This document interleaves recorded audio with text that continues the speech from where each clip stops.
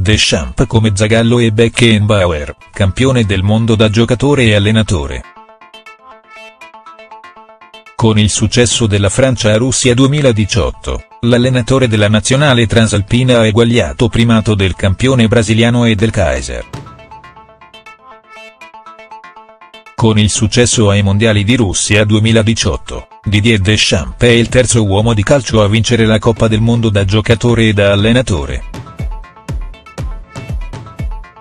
Prima di lui ci era riuscito Mario Zagallo, membro del favoloso quintetto del Brasile campione del mondo nel 1958 e nel 1962, quello con Pelé, Garrincha, Didier Vavà, e commissario tecnico della mitica nazionale verde-oro del 1970, quella di Pelé, Rivellino, Tostao, Gersone e Jairzino, che sconfisse 4-1 in finale l'Italia della staffetta Rivera Mazzola.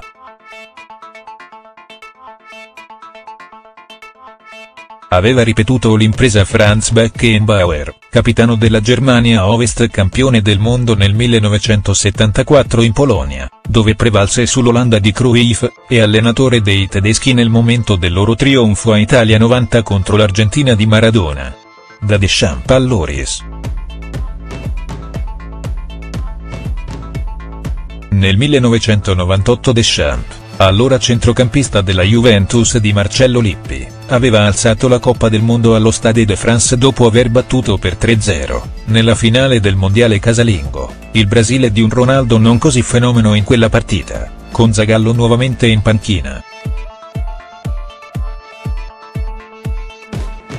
Corsi e ricorsi storici. Dal 1998 al 2018, dalla Francia alla Russia. Dopo 20 anni tocca al portiere Ugo Loris alzare il trofeo.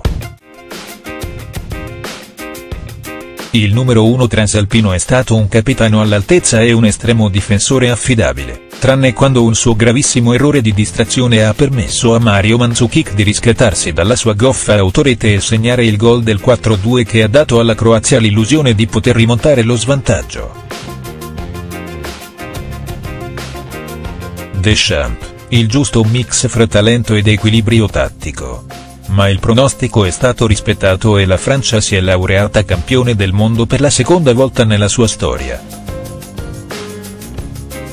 Partita tra le favorite iniziali, è stata guidata alla vittoria da quella dose di fortuna che caratterizza sempre i grandi successi nel calcio e dall'abilità di un allenatore capace di mettere in campo una squadra solida, compatta e grintosa.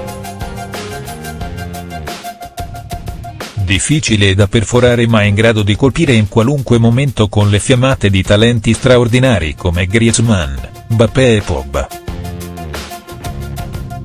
Deschamps ha giocato ben 5 anni nella Juventus e l'impronta lasciata dal calcio italiano è evidente anche nel suo modo di allenare. Si ha il talento ma con equilibrio tattico. Poco importa che non abbia espresso il calcio champagne che tanti, soprattutto in Francia, si aspettavano. Poco importa che lo abbiano definito un generale fortunato come quelli di Napoleone. L'obiettivo era riportare la coppa sugli Champs-Élysées e all'ombra della Torre Eiffel, ed è stato raggiunto.